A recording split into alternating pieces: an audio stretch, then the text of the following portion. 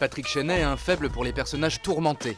Au théâtre Héberto, il lit les correspondances de Dostoïevski, écrivain russe escorté par la démence et obsédé par le jeu. Il est impossible de ne pas gagner si rien ne vous perturbe Même registre au cinéma, Patrick Chenet a promené son côté bougon dans près de 80 films.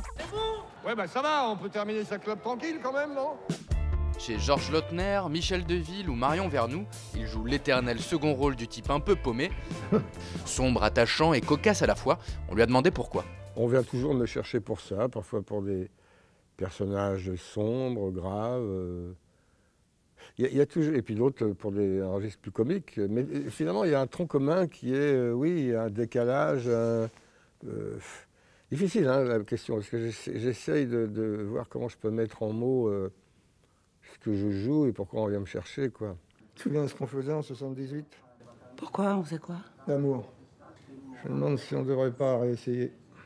Je sais pas, c'est difficile hein, de, de l'écrire. Je suis, je suis moi-même, tout, tout en étant différent à chaque fois. Je sais pas si vous me suivez bien. Mais moi, je me suis plus du tout. je me suis largué là.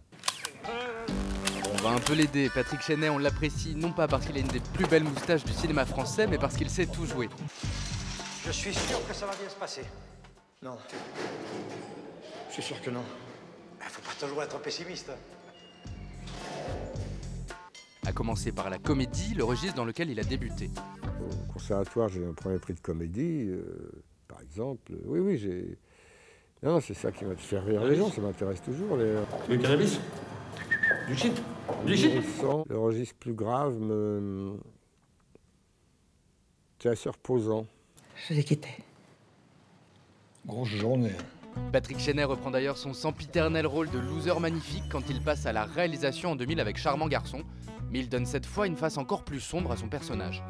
J'avais envie de ce personnage-là, euh, oui, euh, un peu monstrueux, excessif, euh, radical. Mais, mais plus ils sont monstrueux, agaçants au début, plus ils se transforment au cours du film ou de la pièce, et plus ils ont, ils ont une empathie du public. C'est pas très original, hein, on l'a vu dans plein de films et plein de pièces, mais j'aime bien cet aspect-là. À 67 ans, Patrick Chenet a passé sa vie à jouer. 50 années de théâtre, 40 de cinéma, quitte à en faire parfois un peu trop et pas toujours bien choisir ses films, mais surtout, surtout, pas question de s'arrêter. Non, non, j'en ai fait quelques-uns. euh, pour des raisons qui m'échappent, euh,